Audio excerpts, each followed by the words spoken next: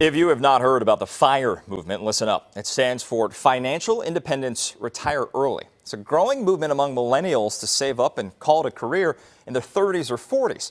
It's spurred podcasts and blogs calling for people to invest more sooner and to be more frugal about their spending. For more on the FIRE movement, we're joined by financial planner and founder of Switchback Financial, Michael Kelly. Michael, certainly appreciate your time on a Friday night. Let me ask you first, how much steam does this idea, how much is it building with your clients or people you know? Um, yeah, not so much with my clients per se, but it's definitely a, a big movement, especially in the online community. Um, there's a core foundation across Reddit streams and online communities that are, are really into jumping on this movement. So let's get to the details here, Michael. I am a millennial, and this intrigues me. So, how much of a lifestyle change right now would it take for me to say retire in a couple of years?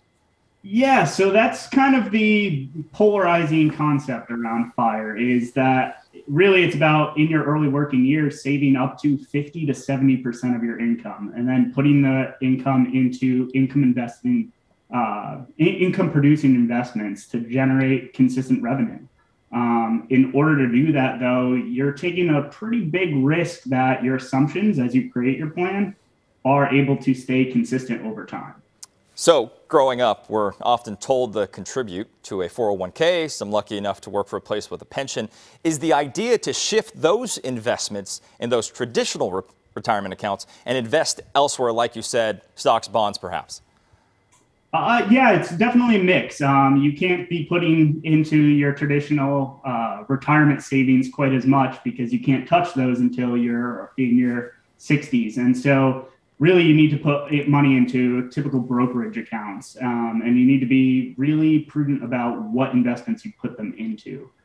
Um, it, it's rooted in a good solid financial planning principles however making savings a priority uh, keeping spending below your means and what i love about it is it really focuses on your values and not merely acquiring more money yeah, it'd be tough with the cost of rent here in the Bay Area. Michael, I've got one more question. We've reported a lot about the pandemic-driven great resignation. The desire to get out of that nine to five grind, is that helping drive this movement, you think? Uh, absolutely. Um, that's the big push around it is people not wanting to feel locked up to their desk. Um, it's, in my opinion, the pendulum's moving a little bit too far in some cases.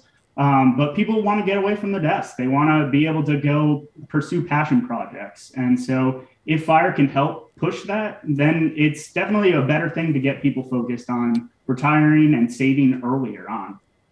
All right, certainly something to consider. Switchback Financials, Michael Kelly, thank you so much for joining us tonight, sir. Thank you. Appreciate it.